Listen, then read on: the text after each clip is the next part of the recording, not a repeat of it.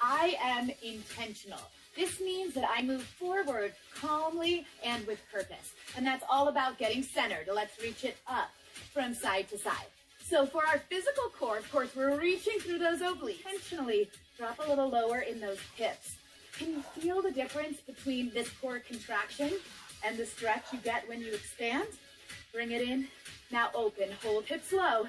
Elbows down, abs in. It goes elbow to knee side to side. I want you to fire up that core, those obliques and lats.